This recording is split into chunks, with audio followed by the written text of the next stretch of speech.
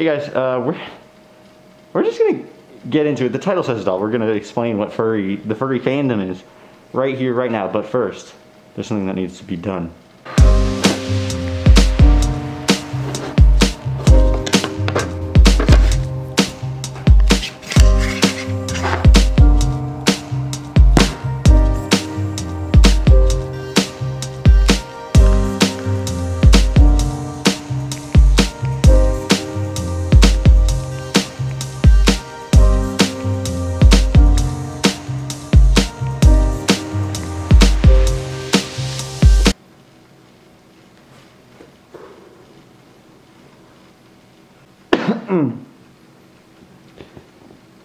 It was at this moment that he knew. He fucked up. No boy, this is gonna be harder than I expected. Oh shit. Why am I making this video? Well, I'll tell you. It's because I was on Grindr. Um, don't ask why. It was a long story. But I was on Grindr, and somebody I have pictures of my fursuit on Grindr, and somebody's like, "Oh, can you tell me more about this furry thing? I've like always wanted to look into it, but I don't really know what it is." So I wrote up a huge like thing to them explaining it in detail for like in a way that I think everybody could understand, hopefully. Um, I was like, I should make a video of that, and I figured a way to make a video like that more entertaining would be to make an idiot out of myself and just lose the ability to speak coherently. Um, what is the furry fandom? I'm gonna start off by saying this is not what a furry looks like. No, that's, that's this is you know like this is what a fur. Don't ask why there was a cut there. It wasn't because I made a fool of myself or anything like that. Um,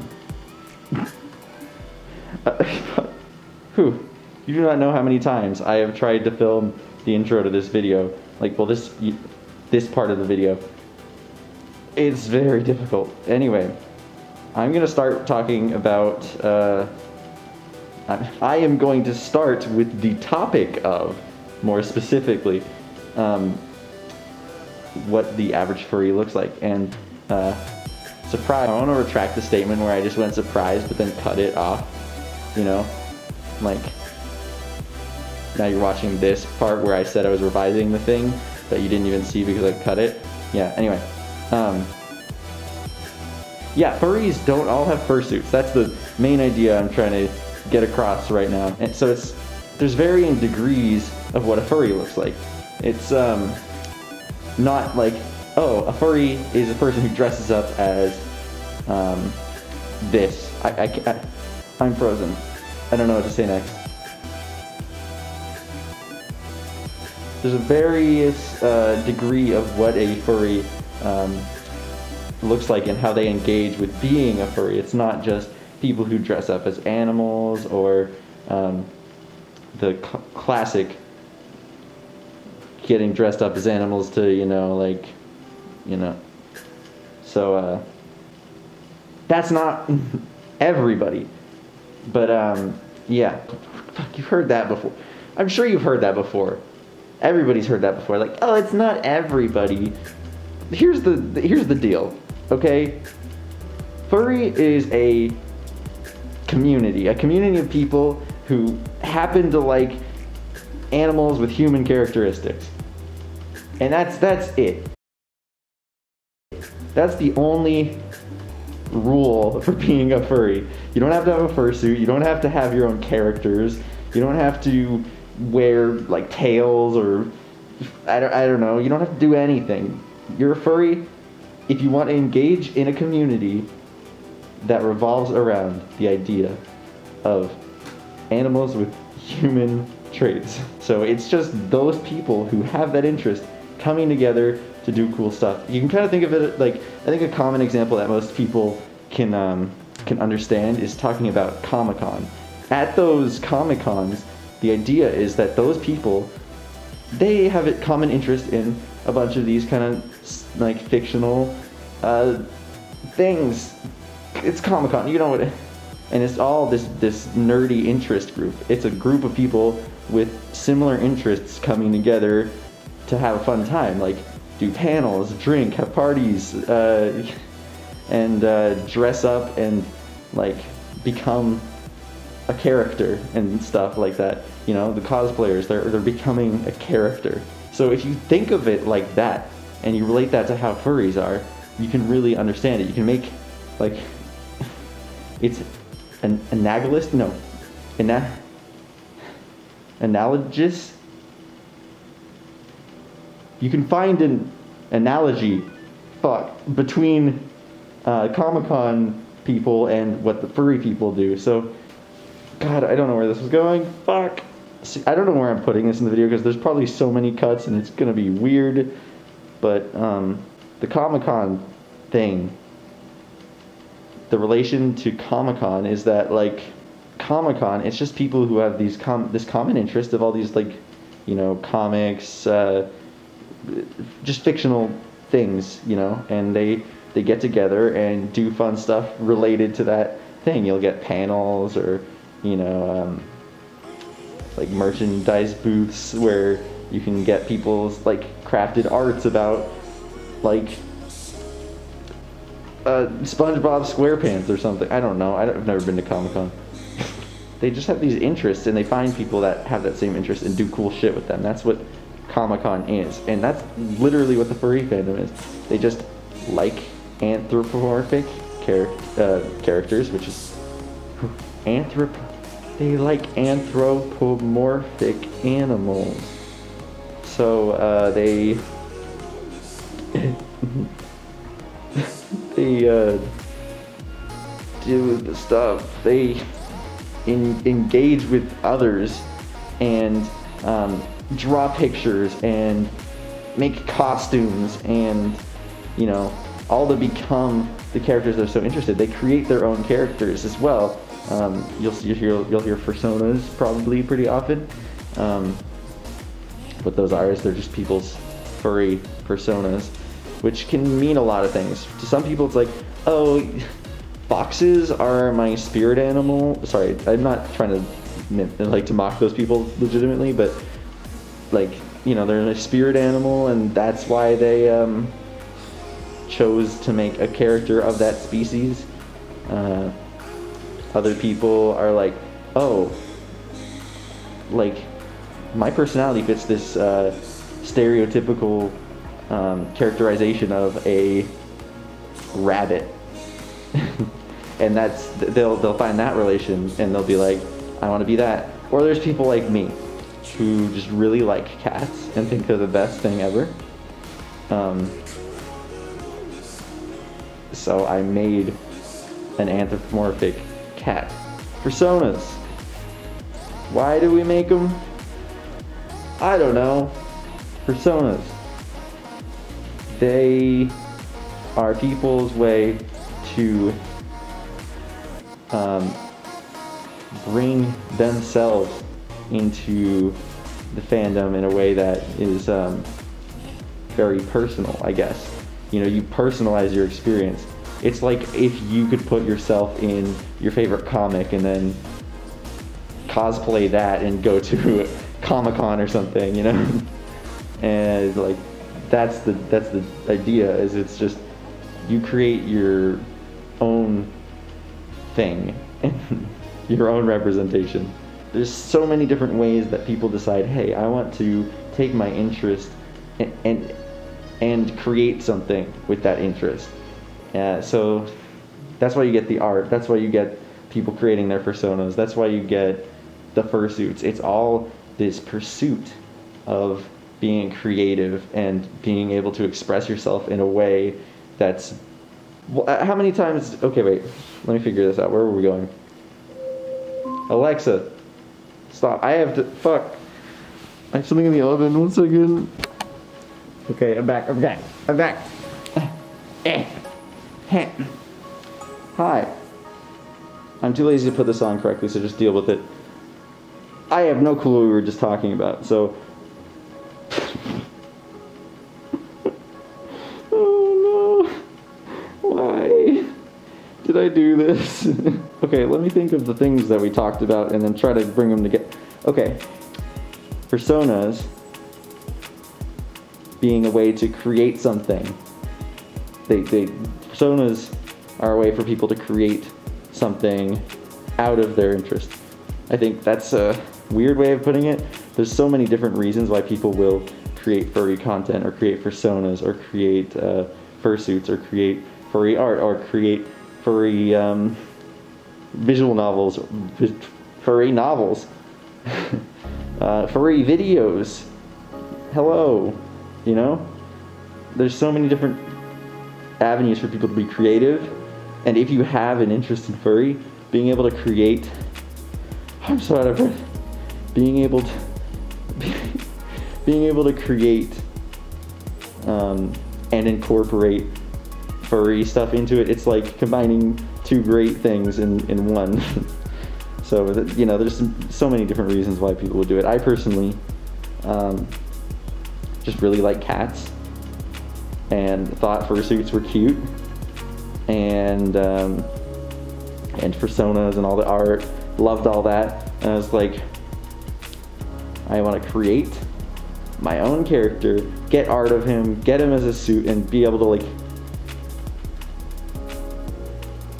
express myself creatively in a way that I wouldn't be able to without it.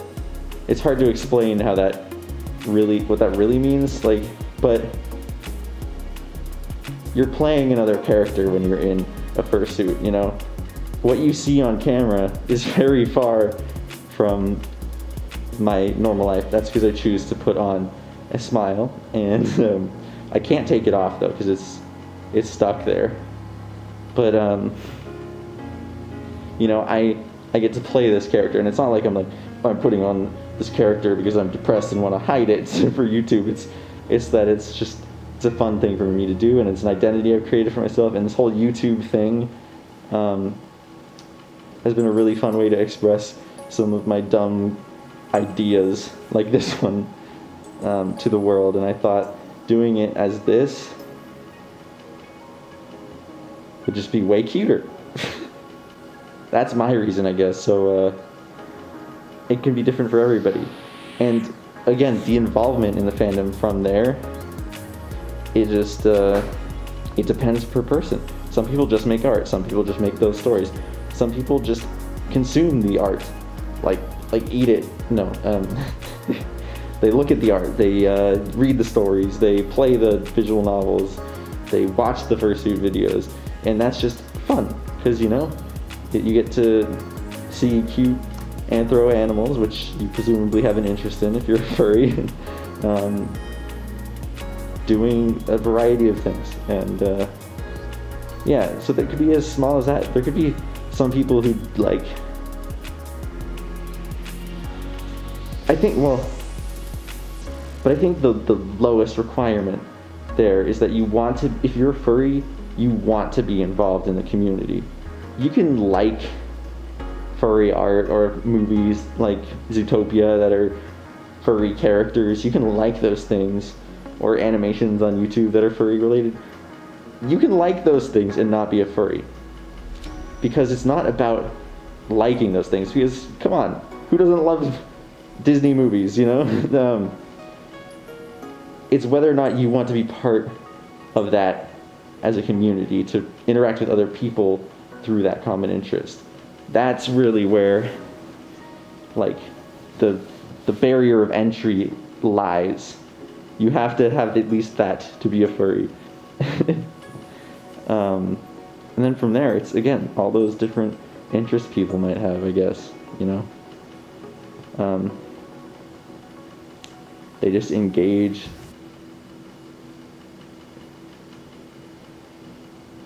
but I guess the, you, you kind of probably get the idea, which the, the overarching idea to all these weird fucking tangents I've been going on. Um, the overarching theme is that furries aren't this one picture that you're seeing of maybe me uh, on YouTube, or maybe you saw that one CSI episode where they're having like a fucking and uh, that was some pretty bad publicity and it's sticks in everybody's head a lot of people think that all the furries want to do is you know just Oh, my camera stopped recording. What was it saying? I, I'm, I'm trying to figure out how to properly talk about the um, adult side of furry without making it too specific and weird for YouTube. But um, the basic idea is that, as with everything ever, people who have an interest in it will try to bring it into their um, adult lives. and um, this this is no exception. But again, think about it like the general population isn't into insert thing here. Um, you know, it's per individual. So again, as with furries, it, you've got to really look at each individual person and how they want to express themselves. And of course, you're probably going to get the same ratio of furries expressing themselves in um, explicit ways than you as you would with non-furries doing that same thing. So it's um, you know, it's it, yeah, it'd be like that. But why was I talking about that? I have no clue. Fuck. Oh yeah. So but yeah, I, yeah, I remember we were talking about um, how people choose to express it in different ways um, and bring in their lives in a variety of ways, and you gotta look at each individual. So,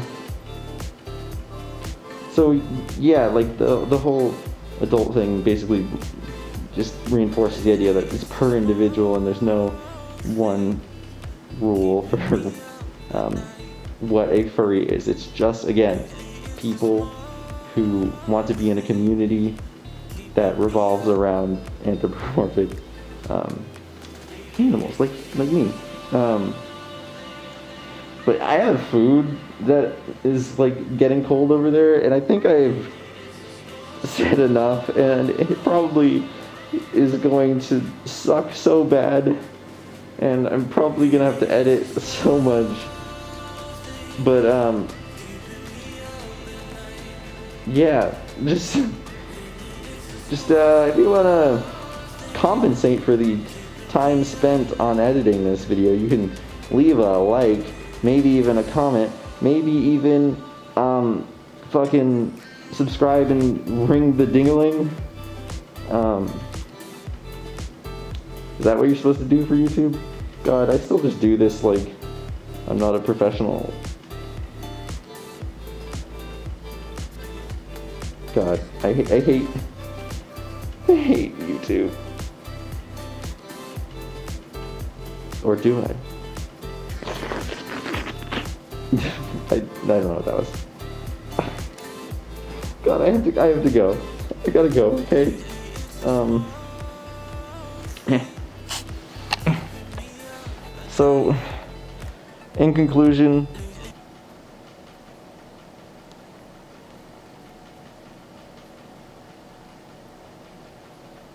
uh,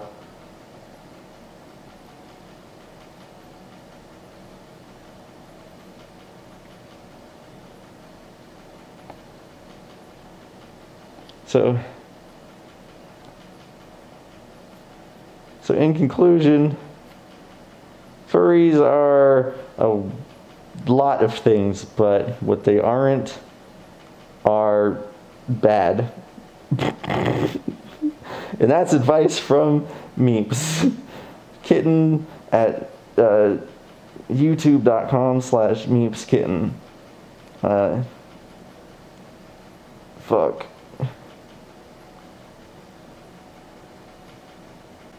But enough inspiration. Um, I gotta, I gotta, I gotta take this off. But uh, yeah, uh,